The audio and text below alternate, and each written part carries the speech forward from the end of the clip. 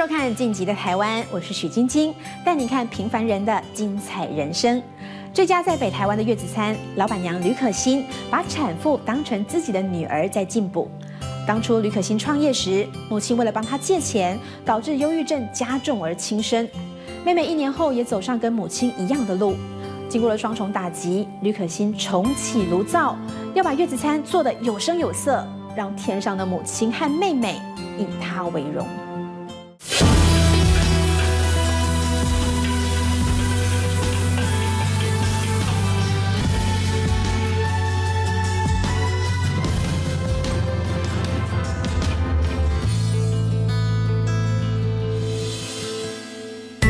饭菜、药膳汤品、水果甜点缺一不可。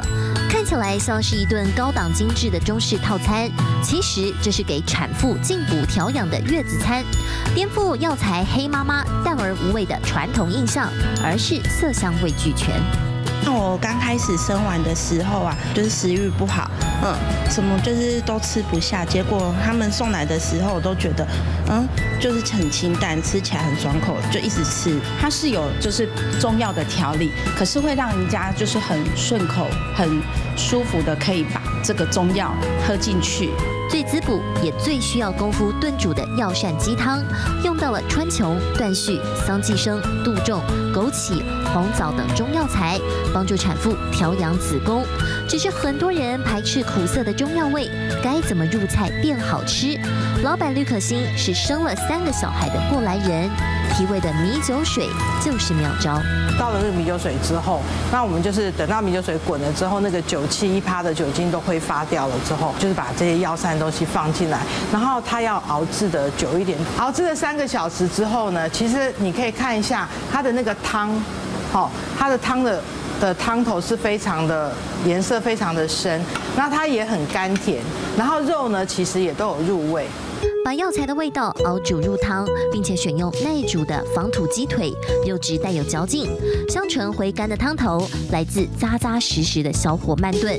为了产妇健康，不能添加任何调味料。以前我妈都会炖什么丝雾鸡之类的，那个中药味都很重，我都不敢吃。可是他们家的就是中药汤，喝起来就是不会到很苦的那个味道，是顺口，然后有时候会有一点回甘甜甜的味道。让人食欲大开的还有这道哨子豆腐。先把猪脚肉爆香，加入满满切丁的蔬菜拌炒，让营养更均衡。特色是我们会放了南瓜，因为南瓜是很好的排毒、好抗老、抗癌的食材。好，那另外来说，南瓜这个东西它有很丰富的纤维质，它也可以帮助我们的排便。另一道很下饭的料理则是梅汁鱼柳，因为担心产后妇女没食欲，所以用生丁啊生丁的紫苏梅挑大梁入菜，开胃也开胃。月子餐你如果里面又不能放醋，因为放醋的话，它容易让妈妈觉得这个东西到底是酸了还是就是口感上面醋的东西很呛。一般我们吃糖醋的东西，你就觉得那个味道很呛。它紫苏梅它是比较温和的一种酸的味道。吕可欣还有独门手工菜，有别于市面上常见的番茄炒蛋。吕可欣把大红番茄挖空，果肉打成糊，把蛋液倒入番茄中做成蒸蛋，上头点缀虾仁和青豆，红黄绿的缤纷配色让人食欲大开。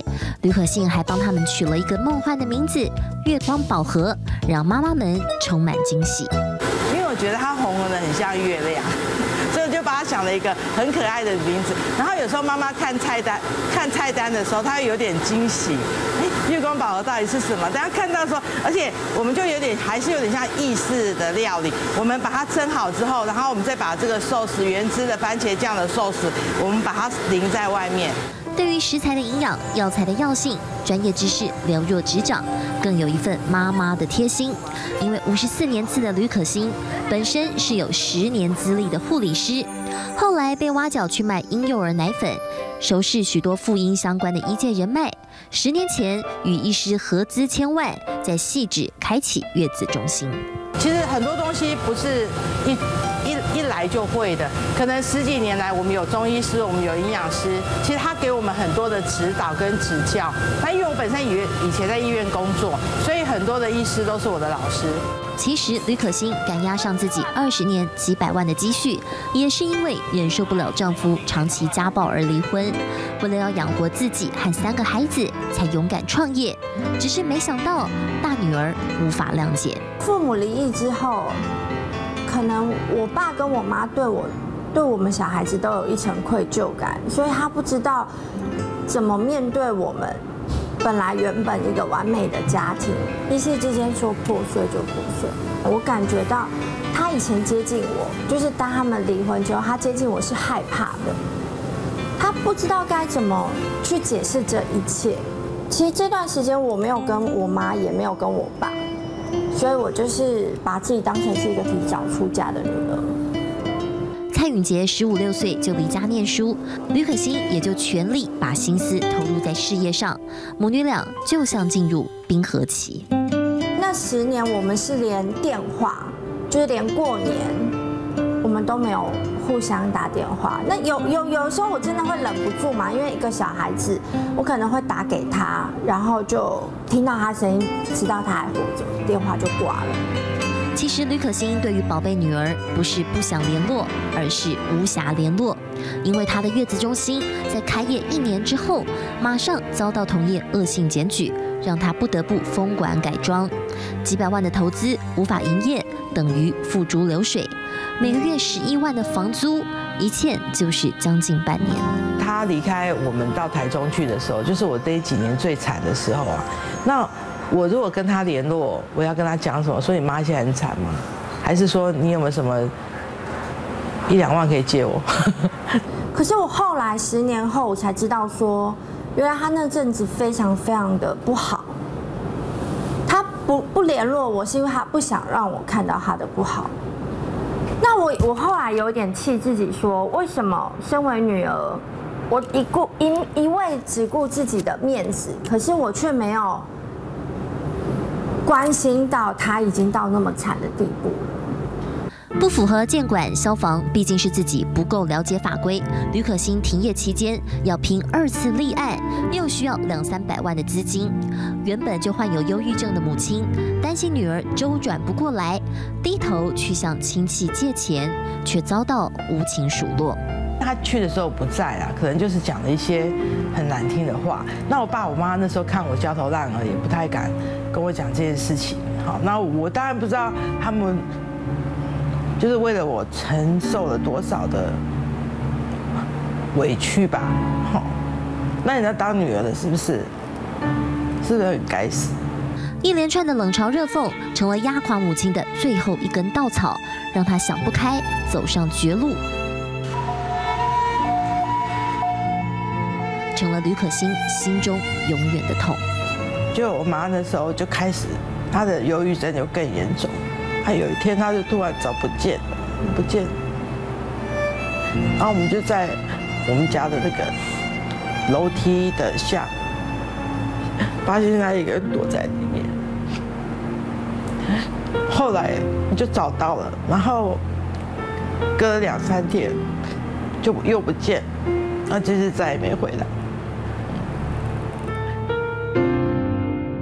我们告别式的时候摸完外婆的手，然后要进去火化再也看不到她的时候，就是她是在里面哭的最大声，用尽生命的在嘶吼的哭。他就说，他很想跟外婆去。那你听了？我很害怕。因为我知道忧郁症其实是会遗传的，所以我非常非常非常的害怕。只要他打电话没有找到我，我一定会立刻回拨，我一定会立刻回拨，因为我很害怕他哪一个不对劲就做了一样的事情，我很害怕。然后他说他跟外婆去的时候，我说我们怎么办？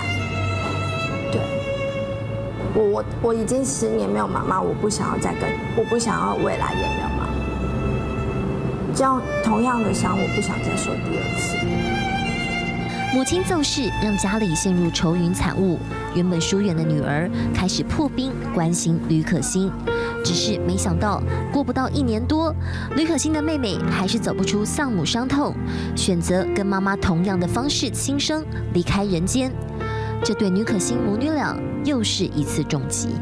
我妈没有再跟我联络的那段期间，都是我阿姨照顾我，他就等于是他，他比我妈跟我还要亲，就觉得生命好脆弱，为什么我不能多关怀一点？他比我妈严重多了，他那时候他是严重到一天要吃三十几颗精神科药物，哎，你知道精神科药物吃多了人都变呆，哎。我有时候看我妹妹这样子啊，你人的你人的一生啊，你到底你到底奋斗跟努力为了什么？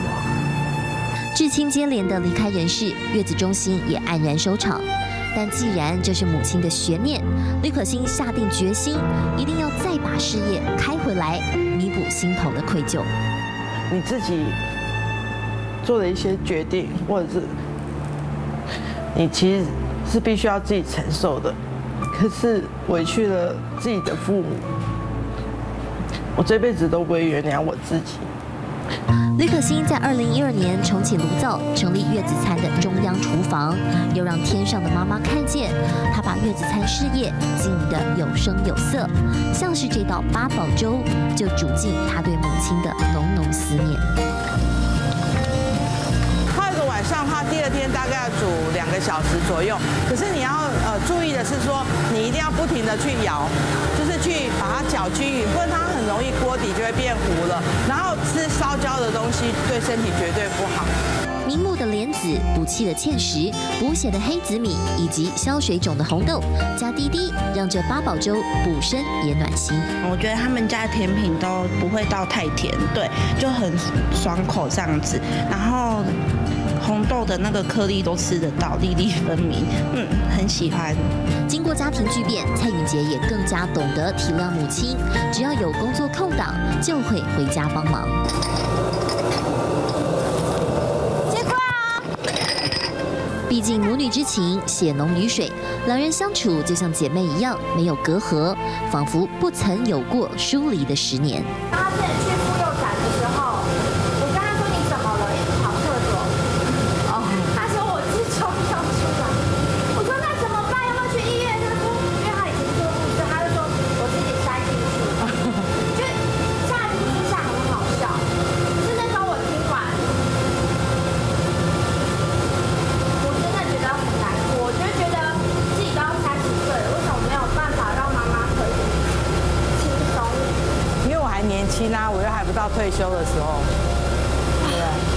对不止疼爱女儿，吕可欣把产后妇女和小产女性的身体也当成是自己的女儿一样来补，因为她相信助人好运会有福报。很多人都觉得我很勇敢，我好像遇到什么事情，我什么都不怕。